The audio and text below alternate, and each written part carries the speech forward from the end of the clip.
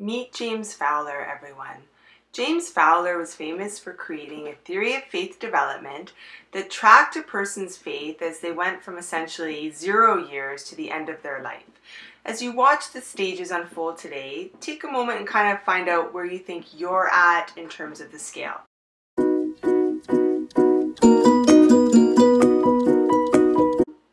Remember when you were a baby? No, of course not. And this first stage of faith development is like Justin Timberlake's song Mirror. You basically reflect back everything that you see done in your home from the people around you. So, whatever you see your family, parents, loved ones doing, what you hear in the house, these are the things that form your initial stage of faith. If you see your family acting like this at church, you will act like that at church. Similarly, if your parents pray like this before going to bed, you will too.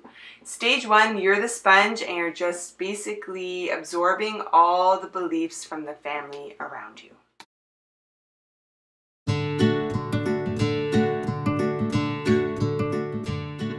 As you can see from these super fun teenagers, we're leaving childhood and entering the world of adolescence. We're probably almost in high school where you are right now. So this stage, stage two, is the narrative stage. We focus on stories, but they're very literal. We look at them through a literal interpretation. So let's look at an example of that in terms of creation. God formed man from the dust of the earth. He breathed the breath of life into his nostrils, and the man became a living person.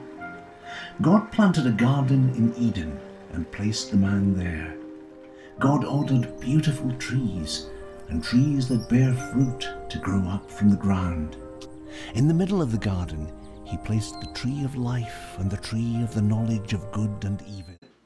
So these kind of simple explanations of clear cut good and evil give comfort at stage two. Now, Maybe some people stay in this stage longer than others. As you remember from the start of this video, it's a progression that you move through, not only in terms of years, but just in terms of maturity, prayer life, etc. Okay?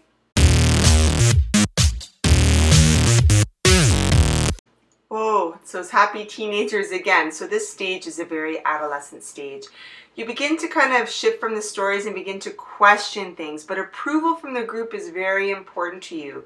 You may start to see contradictions, but God begins to be seen for you in other people, perhaps a boyfriend, a relationship with a parent. So it's an extension of the interpersonal.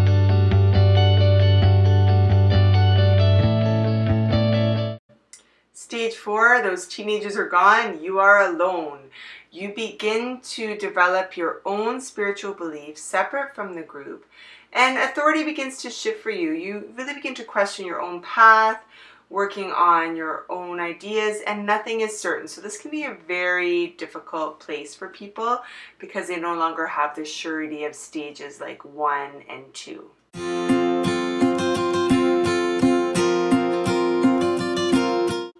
Okay, this stage is usually later in life, around 40, and trust is key. We surrender our doubts and our questions and give it up to the divine. We realize that absolute answers cannot be found, and we really start to trust in the mystery of God.